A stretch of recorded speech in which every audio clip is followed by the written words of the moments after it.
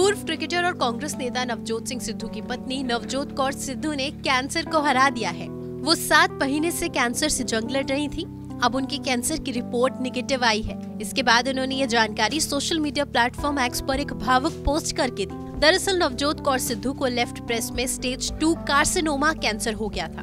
नवजोत कौर सिद्धू ने अपने पोस्ट में लिखा, मैं बहुत खुश हूँ कि मेरी पीईटी स्कैन के अनुसार मुझे कैंसर मुक्त घोषित कर दिया गया है। इससे मेरे पूरे शरीर का अंगदान संभव हो गया है। मैं सौभाग्यशाली महसूस कर रही हूँ कि मैं अपने बालों को दान कर सकी। आइए लकड़ी बचाने के लिए बिजली वाले शवदा ग्रह के लिए हाँ कहें। कोरोना में लोगों के शवों को नकारते देखा है। नवजोत कौर के पति नवजोत सिंह सिद्धू ने कैंसर से ग्रसित होने पर पत्नी का पूरी तरह से साथ दिया। नवजोत सिंह सिद्धू ने अगस्त महीने में पत्नी के हेल्थ अपडेट को साझा करते हुए एक फ़ोटो साझा की थी।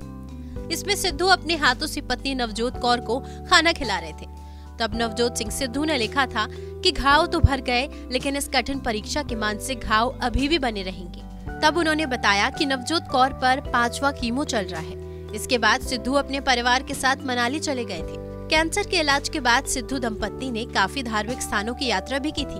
अब कैंसर को मात देने के बाद नवजोत कौर ने खुद इसकी जानकारी साझा की।